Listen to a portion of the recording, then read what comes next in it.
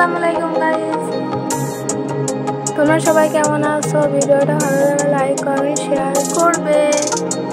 আর subscribe করতে বলো না চ্যানেল